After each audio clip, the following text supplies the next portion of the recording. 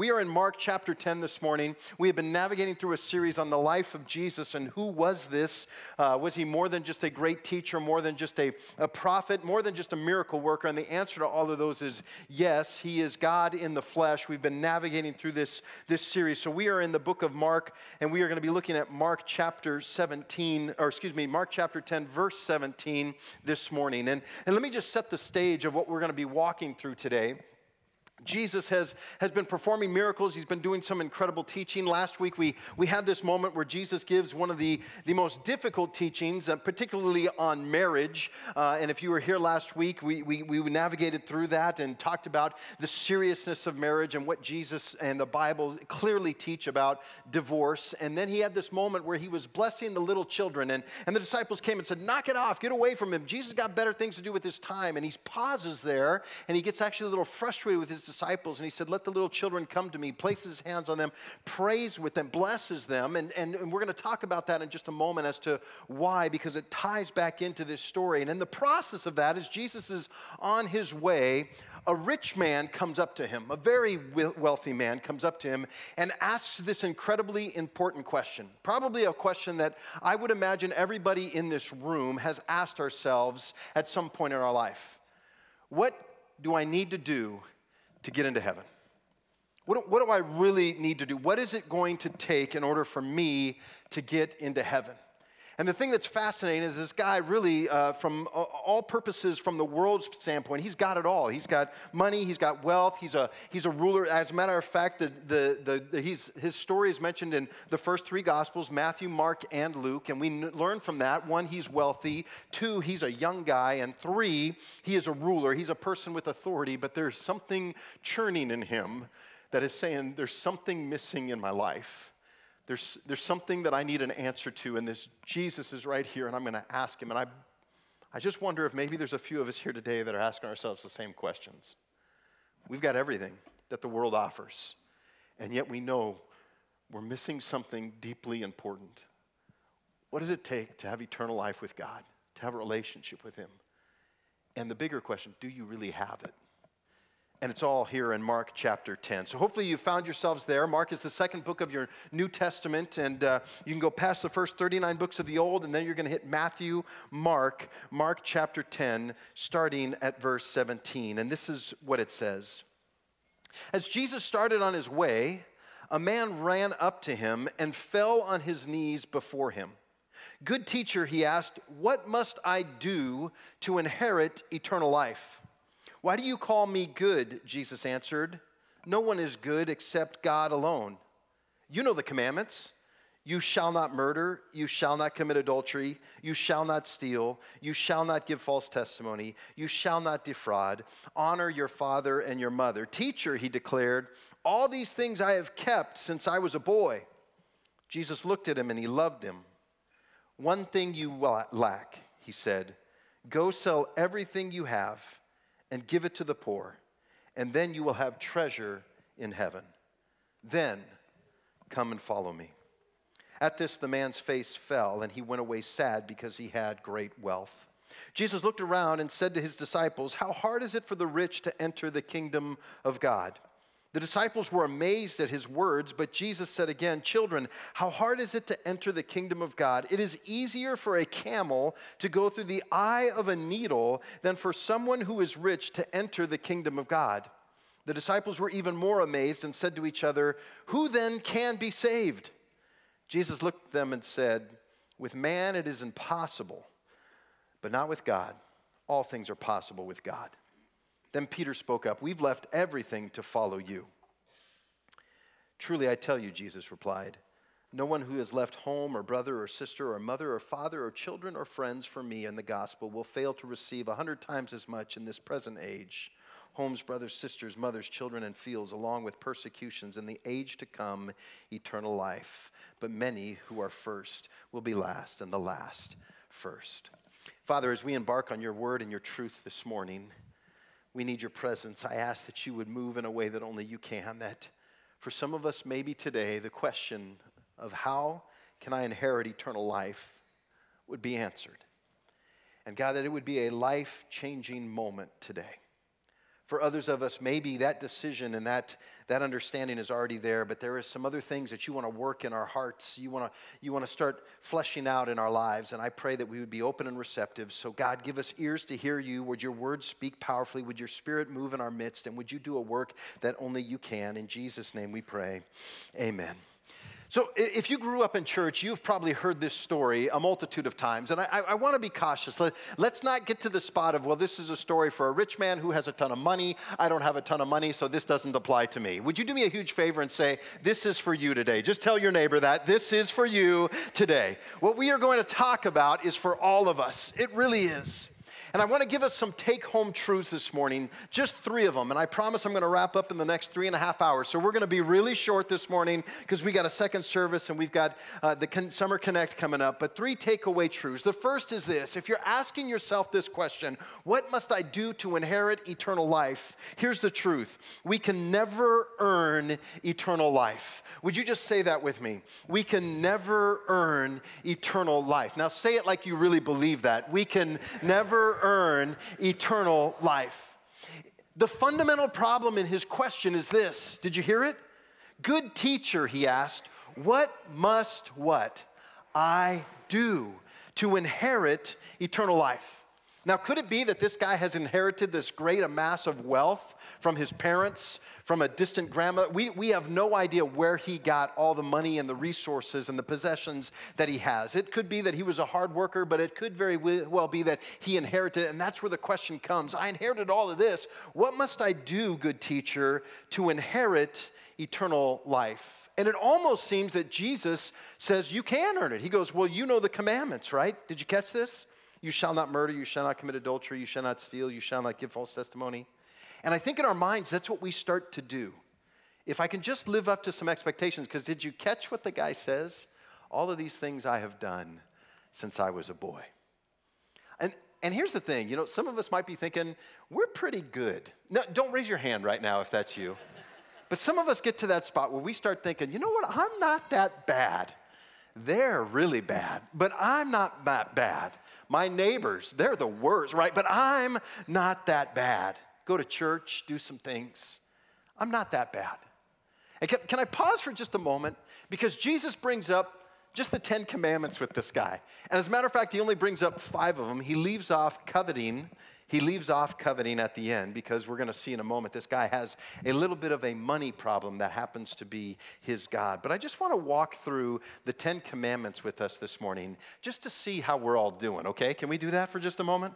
First one, first commandment you shall have no other gods before me. Uh, depending on how you want to translate that and think about that, maybe you're like, oh man, Jesus, yeah, I'm, I'm doing pretty good in that. Number two, you shall not make for yourselves any graven images and bow down to it. Most of us are like, hey, score, I nailed that one. Haven't been making anything at the woodshop class or anything along those lines. Number three, you shall not misuse the name of God. Uh oh, we start to get a little bit more serious now.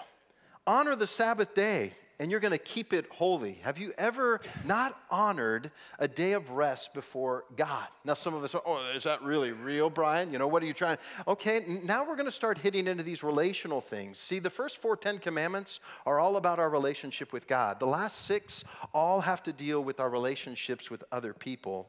Number five, honor your father and your mother. Any of us ever had the eye rolling moment? Oh gosh, come on, really? Really, mom and dad? And I'm not even talking about when you were younger. You do it when you're older too, right? They're so embarrassing, right? Whatever it is. How do you talk about them in public? How do you treat them? Ah, number six, you shall not murder. Many of you are like, score, got another one down. Uh, except when Jesus defines murder as if you have hatred in your heart towards somebody, you have committed murder with them in your heart. You're like, mm, man, I'm almost there, right? Number seven, you shall not commit adultery shall not commit adultery. And maybe some of us are like, yeah, another. Uh, Jesus says, you look at somebody else lustfully, you've committed adultery with them in your heart. You shall not steal. Anybody ever take something that didn't belong to you? Yeah, me neither. I, I knew you didn't, so pack of gum, money sitting on the table, whatever it may be, you get into those places. Number nine, you shall not lie. You shall not bear false testimony. And, and we get into spots where we cut corners on this all the time. Well, I didn't not tell them the truth. I, I, they, they didn't ask the right question, Brian. Have you ever been around people like that? They tell you what you want to hear instead of, well, you didn't ask me the exact right question. We do this stuff all the time. And then the last one, you shall not covet. You shall not cover your neighbor's wife, their car, their home, their donkey, according to the Bible. So uh, maybe you've been doing that, right? So here's the deal anybody here perfect on all of those 10? Just 10 of them. So guess what? You're all sinners. Would you do me a huge favor and say, Welcome to the club? Just say that to me. Welcome to the club. Every single one of us has broken God's standards. Every single one of us. There are no self made saints here today. We are all in the same company. And here's the problem what happens? There's an idea of religion. Religion emphasizes rules, it's what religion does. Religion emphasizes a bunch of rules. We just talked about this. This rich young ruler comes up to Jesus. What can I do? What must I do to inherit eternal life? And Jesus says, one, why do you call me good? But secondly, you know the commandments and walks through all the commandments and listen to what he says. All of these I have kept since I was a boy. This kid was the poster child for religiosity of the day. He grew up in a God fearing home. He's a guy who is passionate you see him, he runs up, he gets on his knees before Jesus. He's humble, he's obeyed all the commandments, he's doing all the right things. Any of you here grow up in church? Let me show you, see your hands real quick. I'm, I'm not gonna call you out, but roughly about half of you guys have grown up in church, maybe even a little bit less than that. I grew up going to church. I went to church, uh, I think I've shared this with you before. I was a drug baby. I got drugged to church on Sunday morning, Sunday nights, and Wednesday evenings, right? My parents drugged me every, I was at church all the time, and it was right up the road. And I had Sunday Sunday school teachers and youth leaders and the pastor. I was getting bombarded. And you know what the similar story was? And it wasn't anybody's fault. You know what, Brian? You know what you need to do? You shouldn't be cussing. You shouldn't be drinking. You shouldn't be chewing. You shouldn't be going with girls who do that stuff either, right? And this whole list of a multitude of things. And if you remember, right, uh, the, the, do you guys remember, were you in the area, the, uh, excuse me, the era of the egg, and they would crack the egg on TV, and they're like, this is your brain. This is your brain on drugs. And they're like, yeah. They're like, You want to cuss? You're going to burn in hell. How would you like that? I'm like, No, I don't want to. Right? And this list of all of these rules that if you just live up to all these rules, if you just do the right things, then you have earned yourself a position with God. And are those things bad? No, they're things that are clearly laid out in Scripture. But the problem is, we get to these spots where we think we earn some, something with God, that, that He's lucky to have me on His team and I'll tell you honestly, I, I, call this this performance trap that we get in into our relationship with God, that God loves me a whole lot more when I'm doing all the things that I think that I should be doing. And so I'm driven this way. And what I notice, men in particular, this is how we're wired. Man, if I got to earn God's love, I got to earn salvation, just like this guy. What do I need to do to inherit eternal life? Because I feel like if I just do a little bit more, and the problem is, we, we build this morality ladder. I'm going to pick on a couple of people here for a moment. So, Gary, would you do me a favor?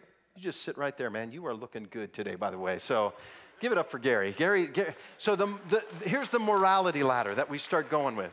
So, Gary, because I have a good relationship with Gary, I'm gonna, I'm gonna pick on you for a moment, Gary. Gary is, let's say, representative. I know this is not the case with him. He's, he's a guy, moral, morals pretty, pretty, pretty subpar, not, not great.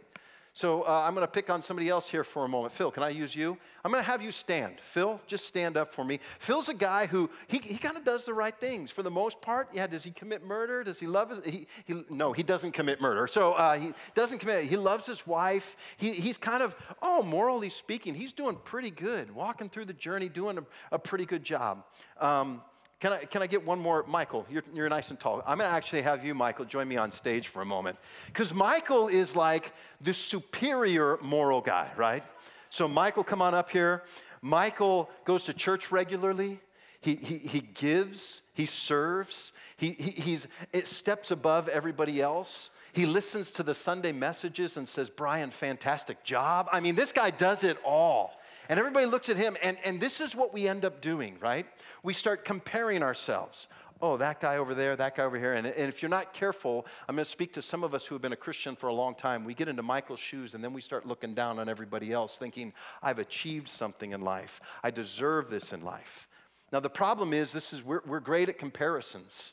Gary and, and Phil, and, and we always go to the person of, well, at least I'm not that bad. Do you want to know why Jerry Springer and all those uh, shows became so popular? Because families went, well, at least we're not that bad, right? That's what we do. At least I'm not that bad. The problem is, if the goal was that these guys had to be at the roof, is anybody making it? None of them. And that's just to the roof. What if it was, if these guys were supposed to make it to the sun? Is anybody making it? It's not a trick question, guys. This is really not a trick. Is, is anybody making it? No, they're not. And it doesn't matter if you're seated, if you're standing, or if you're up on the platform. We're missing it. Michael, thank you. Phil, you can have a seat. Gary, remain seated. You're doing great. So, uh, and we get into these spots where we think if I just live up, and that's what religion does, it's my best effort to try and get to where God is. The problem is, I can never do that with my energies and my efforts. I cannot earn my way to getting to a relationship and to eternity with God. I grew up, as I shared with you guys, thinking that. God, if I could just get this, just get, and some of us get into spots where we, we don't do certain things, and then we start doing certain things, and we start reading our Bibles, and I'll never forget the day I was sitting reading my Bible and spending time with God, and it dawned on me Christianity is far less about what I'm not doing, and far more about what I am doing and who I am. Let me say that again. Christianity is far less about what I'm not doing than what I am doing and who I am in Christ. Because we can make a bunch of don'ts and then we think we're living up to some expectation that earns us something. Religion emphasizes rules. Jesus came to do what I could not. Jesus came to do what I could not. So this rich man says, Hey, Jesus, I've been following all of those things since I was a boy. I've done it. I've been living it out. I've been doing all the right stuff. He is the poster child for, and yet he is missing something. And I wonder if maybe for a few of us here today, we keep coming to church, we keep reading our Bibles, we keep praying, we keep going through all the right motions, but deep down there is something that is missing. And then Jesus gives this, this statement one thing that you still lack, go and sell everything you have and give it to the poor, and then come follow me. And this man walks away sad. His face drops. This is one of these rare moments. As a matter of fact, I don't think that there's another one according to the scripture, except maybe if you consider the Pharisees and the religious leaders getting frustrated with Jesus, that Jesus has an encounter with a person and they walk away worse than when they came. He goes, Jesus, what must I do to inherit eternal life? Jesus says, Go and give it all. And then he makes this comment how hard it is for the rich to enter the kingdom of God. The disciples are amazed at his words, but Jesus then said again, Children, how hard is it to enter the kingdom of God? It's easier for a camel to go through an eye of a needle than for the rich to enter the kingdom of God. Now, I don't know about you, but I grew up in church, and somebody told me years ago that at the city they, they would close all the gates, and that there was this one gate called the Eye of a Needle. Has anybody ever heard this before? And uh, they would take and have to take all the, the packaging and all the, the baggage off of the camel, and the camel would have to get on its knees and kind of work its way through the gate, and it was this big. Uh, uh, can I tell you that's not true? Somebody made all that stuff up. They lied to you too, they lied to me. That's not true. What Jesus is really saying is, hey, let me, let me, let me find something here that would make this work for you. Oh, look at that double back camel right there. That big, uh, that's a big camel. And here's a needle. Can you fit that camel through the eye of this needle? No way. It's impossible. As a matter of fact, to be honest, some of you are having a hard time putting thread in an eye of a needle nowadays. Anybody here want to admit that? Listen, I'm a fisherman. I'm always trying to thread little things and tie knots, and I'm doing this. I'm in my late 40s right now. I refuse to wear glasses, so I know what Jesus is talking about. Can you imagine fitting a camel through the eye of a needle? And he, what is his point? It is impossible, it's not doable. The rich even though they, and this is what Peter gets, he goes, well, then who on earth can be saved, Jesus? Because here's what was going on back in this time. People thought if you were rich, you are blessed by God. Man, God's favor is upon your life. Of course, He wants you in eternity with Him. And Peter's like, who can be saved then? And Jesus says these incredible words With man, this is impossible, but not with God all things are possible with God. It was the point. You and I can never earn a right relationship with God. We can never earn our eternity with God. It'll never happen. And if you remember this, and I just draw your attention to when Jesus was blessing the little children, just a couple of verses up from your page, Jesus says these words Let the little children come to me, and do not hinder them, for the kingdom of God belongs to such as these. And then he says this Truly I tell you, anyone who will not receive the kingdom of God like a little child will never enter it. Romans says it this way for the wages of our sin is death, but the gift of God is eternal life through Jesus Christ our Lord.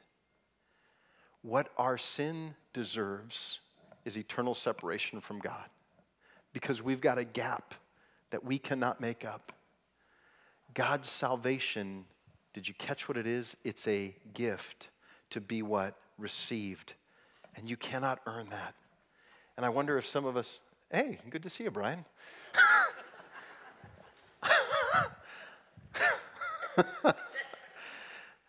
I wonder if maybe for some of us we're in a spot of trying to earn, earn our salvation when it's been entirely always the, the point of God that we would receive it.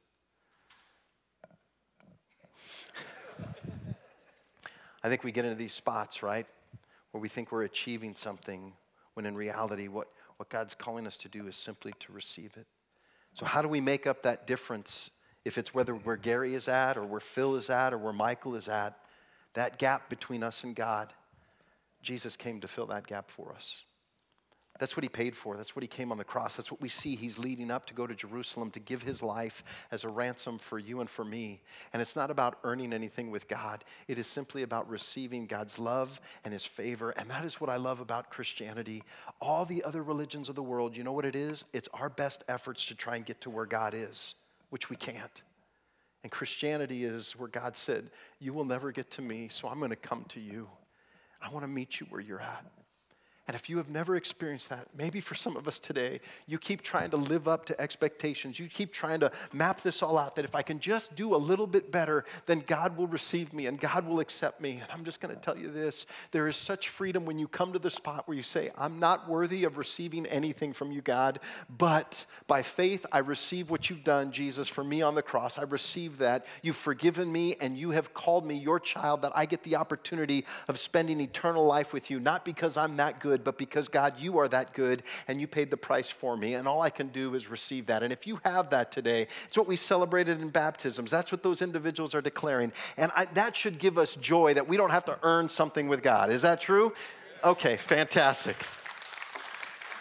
Point number two I must choose if Jesus is just good or if he is God.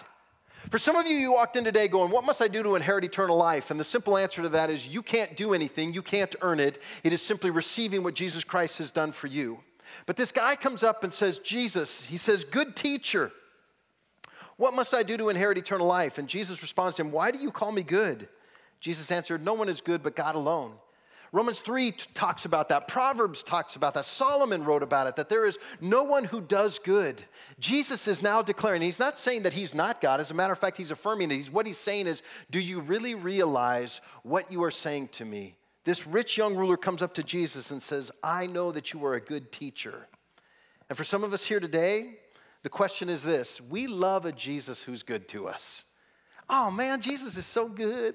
He forgives my sin. I pray to Him and He helps me when times are tough. He's, he's done some great stuff in my family and financially. He got me this job. I really trust Jesus and I pray and He answers me. And we love a good Jesus. But Jesus didn't come just to be good for you, He came to be God to you. And that's really different because we love a Jesus that comes alongside of us and helps us get what we want. We struggle with a Jesus who says, Hey, Brian, this is what I want for you today. Will you do it? This is what I'm asking in your life. Will you do that? Does Jesus have the authority in your life? Is he more than just a good teacher? Is he more than just a miracle worker for you that you come to him and say, I, I want this? Or is he really God in your life today? What is the one thing? Jesus says, Hey, one thing you still lack. Am I God in your life? Go and give everything that you have to the poor and sell it. And then come and follow me. And the man walked away sad because he did want a good Jesus, but he didn't want Jesus to be God. And I share this for some of us because I know there may be a few of us in here, maybe a lot of us, that we go through life's journey, we come to church, we do all the right things, we're going through the right motions. But do we love a good Jesus? Or are we saying, Jesus, you are God in my life? If you say this, I'm doing it. I'm committing to that. I'm going to follow that. I'm going to trust you in this. I'm allowing you to call the shots in every decision of my life. Tell me what you want me to do, which leads us into the third and final thing. Following Jesus will always require me to give something up. If I'm really going to follow Jesus, it will always require me to give something up. Go sell everything you have and give it to the poor, and you will have treasure in heaven. Then come and follow me. At that, the man's face fell, and he went away sad because he had great wealth. I know some people will read this and go, man, if you're rich, if you have wealth, God is expecting you to sell it all and you need to give it to the poor. I want to be clear. That's not what the Bible is clearly teaching here. Matter of fact, this is the only portion of Scripture that you see Jesus command that to that degree. And the reason was is because Jesus wasn't God in his life. Money was God in his life. Possessions were the God of his life and he calls him to that. There are rich people in the scriptures. Joseph of Arimathea is pretty wealthy. Abraham, a wealthy guy, and you don't see any of them that God says, hey, you need to give it all and give it to the poor. He's just saying this specifically to this guy because he knows. He knows the things in our life. And I wonder if there's something for each and every one of us in here this morning that maybe God is calling you. If you're really going to follow Him and say, I'm all in, Jesus, I want to follow you with everything in my life, that He's saying, there's something that you've got to give it up. We read this a couple of months ago in Mark chapter 8, verses 34 through 35. Then He called to the crowd, He called the crowd to Him along with His disciples and said these words Whoever wants to be my disciple must deny themselves and take up their cross and follow me. For whoever wants to save their life will lose it, but whoever loses their life for me and for the gospel will save it. This man missed the opportunity of a lifetime. Anybody ever think, man, if I was back in Jesus' time, how cool would it be to walk with him and see all the miracles and listen to his teaching and follow him? Anybody here thinking, I would love to do that? Anybody? Okay, four of you. All right, I don't know what's going on with the rest of us. But this guy had the opportunity. Jesus lays it out before him. And, and if we're honest, I wonder how many of us miss the opportunity now because Jesus says, Hey, am I good? Or am I God? And if I'm God, are you willing to let this go to really follow Him? And I don't know what that may be for you today. Maybe for some of us, it is our wealth. We think it just a little bit more. If I just got a little bit more stuff, and man, everything would be great. Maybe, maybe for some of us, it's control. Anybody love control? You're always in the driver's seat. Anybody married to somebody who loves control? Yeah, we love that. And the bottom line is is Jesus just going to be good or is he going to be God in our lives? Maybe it's your dream. Well, isn't Jesus about coming alongside of me and helping me fulfill my dream? Can I just tell you something in love? Your dream pales in comparison to the dreams that Jesus has for your life. He can, he, he can do immeasurably more than you think or could ever imagine with your life if you will just trust Him. And maybe for you, there's some, there's some things. It's a, it's a different course of your job. It's you've been going to school for this. It's a passion of where you think that you're going to go. Maybe it's a missions trip. Maybe God's calling you into ministry and you go, I don't know if I want to go into ministry. I have no idea what it may be in your life, but will you trust Him enough to say, Lord, if this is what you want, I'm going to surrender everything. I'm going to give this up to pursue you because I trust that not only are you good, but you're going to be God in my life. I'm going to commit myself to you. Maybe for some of us, it's a relationship. It's time to make a decision in a relationship. Maybe it's time to step away from a relationship. And if Jesus is going to be God, you know what that decision is. Maybe it's a change of location. Maybe God wants you to move from Ione to Pine Grove, California. You know, I, I have no idea. I have no idea. But maybe God's calling you to do that. He did it with Abraham. Maybe He's doing that for you. Maybe it's a different commitment of time with Him. I have no idea what it's going to be, but if we're going to follow Christ, let's just be honest. It's going to come with giving something up. And so I just want to speak to a handful of us here this morning. One, maybe you're here and you walked into these room, this room going, I, I don't know what it would mean to have eternal life. Do, how do I get it? Maybe the question this morning was answered by simply saying, You can't do anything to earn it.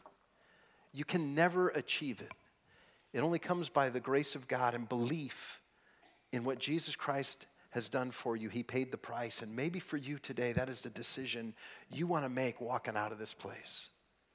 For some of us, I, I just want to share this story. I was at uh, Stanislaus State for a couple of years going to school, and as I was there, I was it was a season of spiritual growth for me. And we had these guys come onto our campus, and they were the typical street preacher sign. You know, they would pull out signs, and they were yelling at everybody walking by. You rock and rollers, you porn, you know, you you prostitutes. They were saying all sorts of just crazy things to these students. And I remember walking up to one of the guys, and I know I've shared this story before, but I said, "Hey, uh, what what are you guys doing here?" Well, we're trying to turn people to a relationship relationship with Jesus. I said, I don't think that's happening, my friend.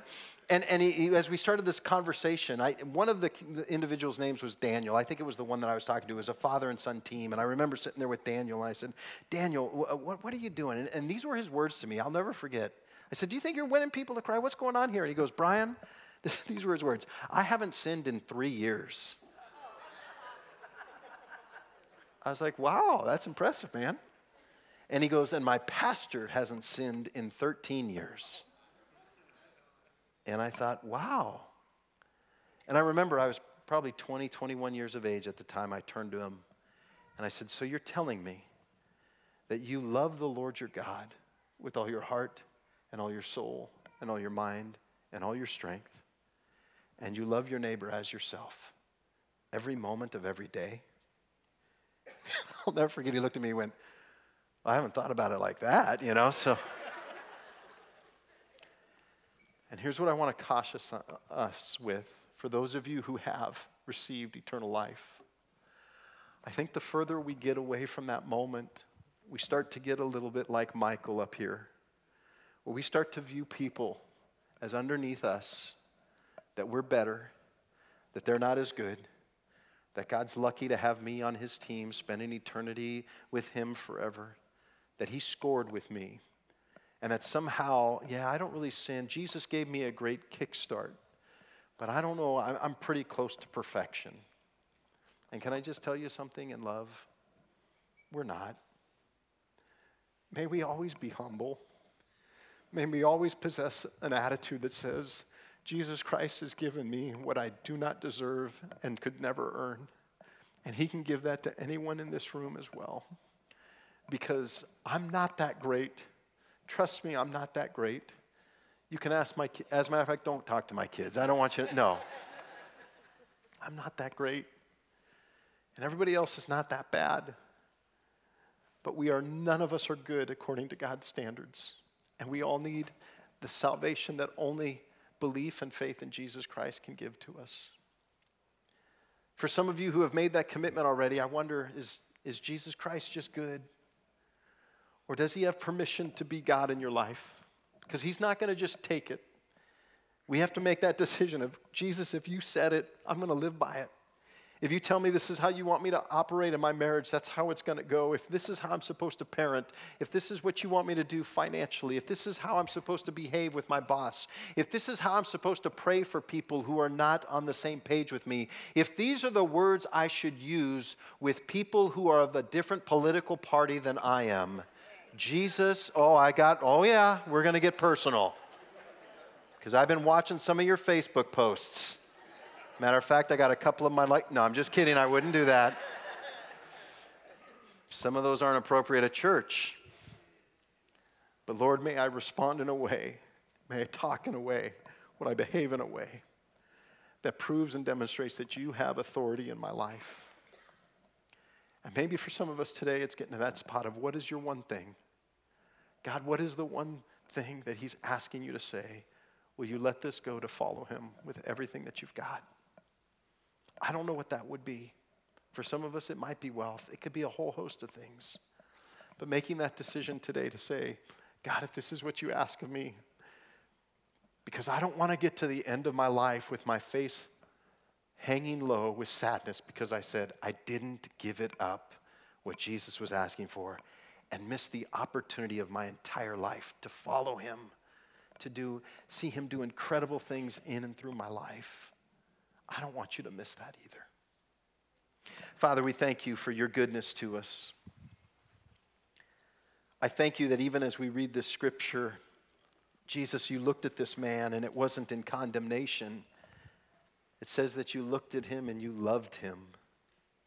And God, I know you love each and every one of us. You love us so much that you would send your son Jesus to pay the penalty for our sins. And so, right now, God, I pray that there are probably many of us in this room that there is something holding us back. I don't know what that may be. Maybe it's our comfort, control.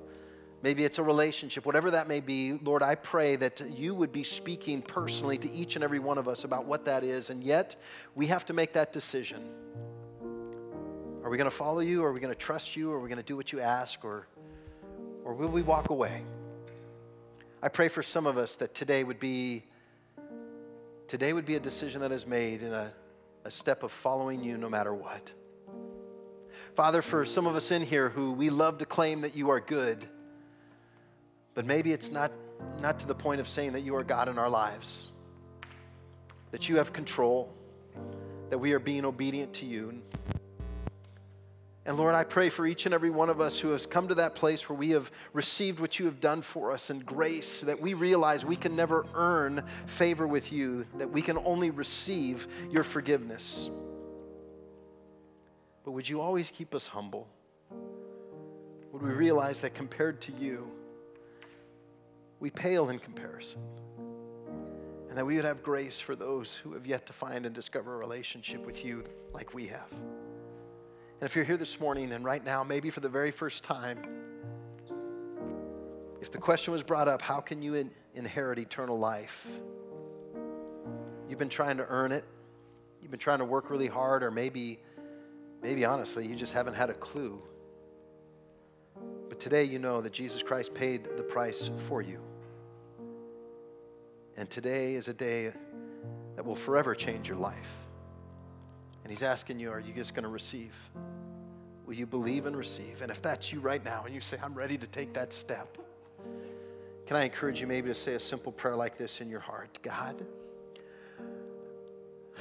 I need you in my life. I need you. And I realize I can never earn my relationship with you. So, Jesus, I believe you died on the cross for my sin. And I ask you to come into my life, give me a brand new start. Forgive me and help me to walk in obedience to you for the rest of my days. Not just being good to me, but being my God. In Jesus' name we pray. Amen.